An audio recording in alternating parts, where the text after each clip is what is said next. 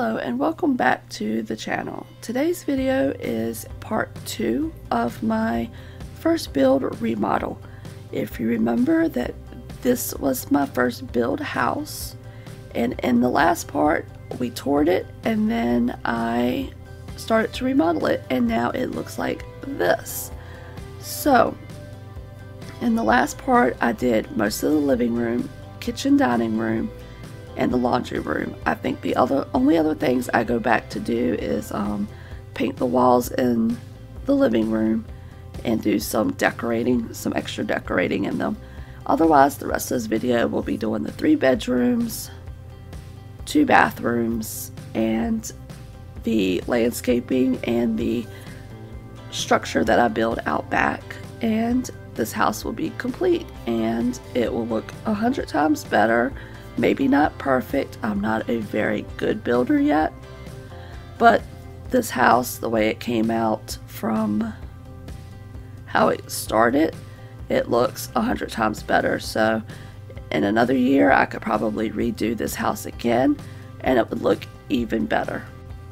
So let's get into the rest of this remodel and improve the house that I called quote unquote my fave which will of course be getting a new name at the end of this video.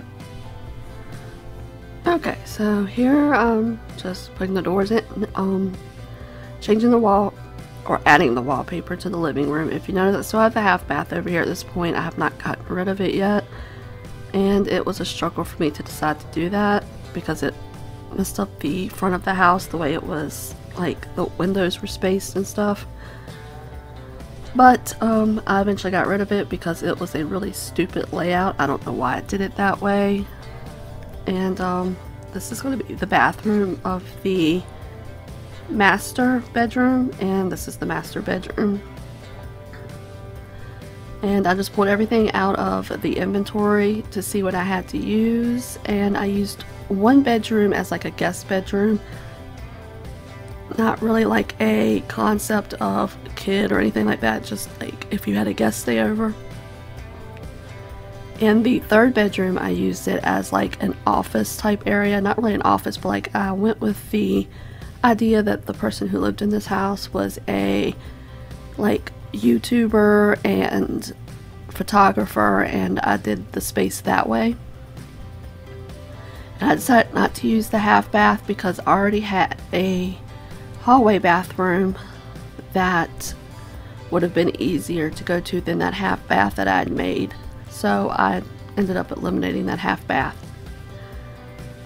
So I did try to use everything that was already in the original house and I did change up some things. I made this into like a little bookcase reading nook area. I put like these two bookcases and then like two of the small little um little um, I don't know what they're called, little cube looking benches. I put those there and this was like a little reading area. So then um, I really am, I really don't like how much artwork and wall decorations that we really have. It's like I use the same artwork over and over and over again because they're the ones that I like. And the ones that normally go with the themes that I'm going with. It took me forever to find a picture to go here and I will eventually change it again. But um, I kept this room really, really simple like and I eventually added a dog bed because I realized that I never really make houses that include pets. So I decided to make this one into a dog owner and so I'll eventually start adding in some pet accessories and um, here I've really stopped because the 1800 Simoleon toilet that I've always used, it's the Sweet Country Escapes, was like unbreakable, but now it's considered uncomfortable. And for 1800 simoleons, my toilet should not be uncomfortable at all. So I was like really confused and really sad because that is like the favorite toilet I always like to use, but I guess it is what it is. Um, course, my favorite mirror from Spa Day. I use it in almost every bathroom I make. And then I just started adding stuff around. Um, added the uh, clothes hamper since I do have laundry in this one now. And so I just kind of went with a, kind of carried the black and white grayish type theme from the bedroom into the bathroom. But anyway, eventually you'll see me start adding in what's called no CC art.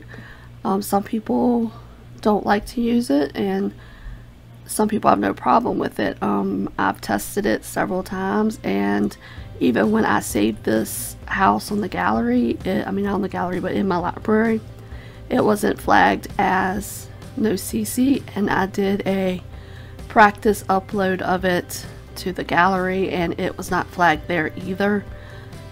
So I guess it will be okay. Um, I added in some of the little nifty knitting stuff over here. Well, I guess the person can just sit in their bedroom and relax and knit.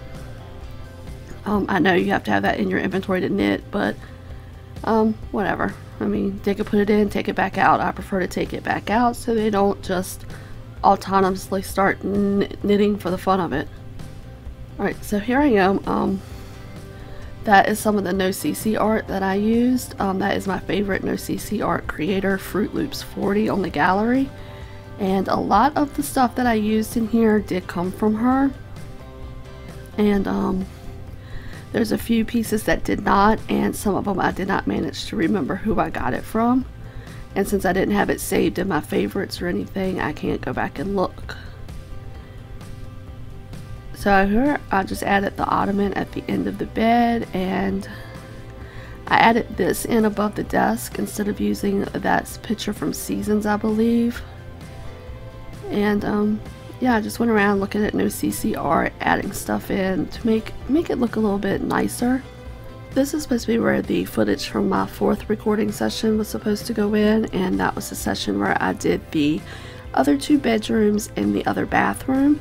However, that footage got corrupted, and even though I tried everything I could to save it and thought I had, it kept crashing Filmora every time I would try to edit it. So I had to take that entire clip out.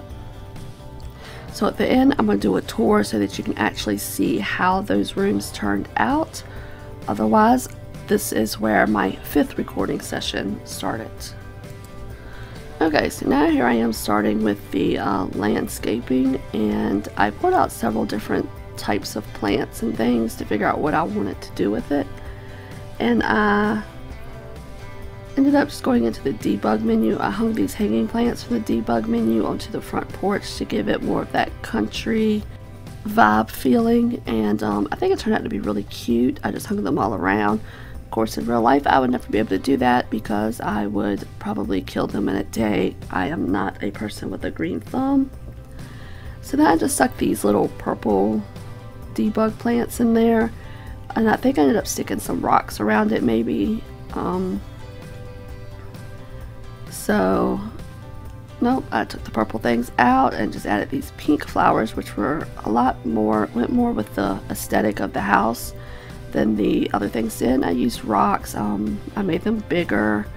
And over here, since I just have room for two, since I had to cut off the other part of the house, I just added a little different type of landscaping. And then I used this little small um, fence, I think it comes with Strangerville, and um, outlined the, drop, the pathway. This is the structure I built out back. Um, it I turned it into the greenhouse instead of her having the little planters outside. And I really love this door from Nifty Knitting. I like little flowers on the front. So yeah I just turned this into like a greenhouse type building. And I put the vertical planters in it so she could have a lot more plants than before. And I had it match the house of course and over here is where I put the flower arranging table that was in the original house in.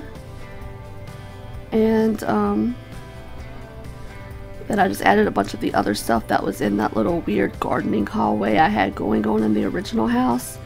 And added a little table with some gardening debug items. Um, they think I went in and added some like bird seed boxes from de debugs. I add bird feeders outside and stuff like that. So it's like her little gardening slash um, bird feed storage, I guess. Um, I made it look really cute out there.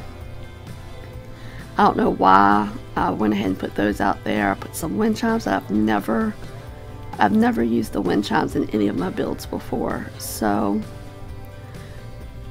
she's got tons of rooms to grow plants now. Um, I threw some seed packets on the table. So if you download the house, they should be in there with it. It's like the vertical plant seeds. So you can open those up and have some seeds already.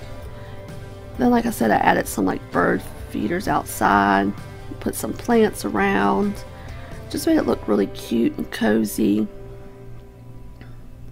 So when you're looking off the back porch of the master bedroom, this is what you see. And of course I made the um, greenhouse roof and on the section with the actual planters, the other section still has a little roof and stuff like that. And then I also went in and added some no CC art pictures. Um, like I said, some people have no problem with the no CC art. Um, I never did when I was like, when I download houses with it. The only thing is, is that it, it kind of makes your house worth more when you have it. Um, I realized that back in my early days of playing on the PC. Um, I was playing a Legacy and I found a house on the gallery that was really cute within their price range. I put it down and then I decided that it wasn't going to work with the family that I had. So I deleted it and I got like a hundred thousand more simoleons when I deleted it than I paid for it because of the no CC art that was in it. And I'm placing some more CC, no CC art down in the hallways. Um, I just I got sick of the same old pictures and I wanted something different and so I added the no CC art. If it gives you a problem, let me know. If you've ever had a problem with it, let me know. So I'm just going to finish up with this decorating and then I will meet you back here for a tour of the finished house and then lead you into some screenshots and that will be the end of this video.